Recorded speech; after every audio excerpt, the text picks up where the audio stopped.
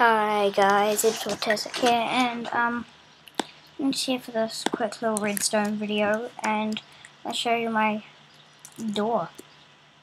Um so yeah, it's got a lock combination and an unlock. So up, down, down, down.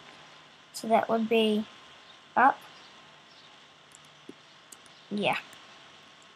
There's a few different combinations, so and if you want to close it, that one goes up.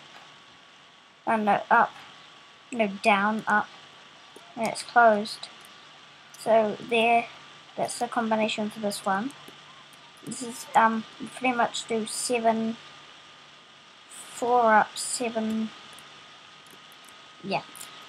Four up, seven along, and then you put a wall here, puts the, um, levers on then back here you have three torches. Um, what? and then you have that, well, redstone all the way down here with a block right there, which I just broke. So yeah, that's basically it. This was just a quick little show off of this awesome door lock Things for your house, so don't let people get in and all that. So, goodbye, guys. Like, comment, subscribe. It's Autistic out.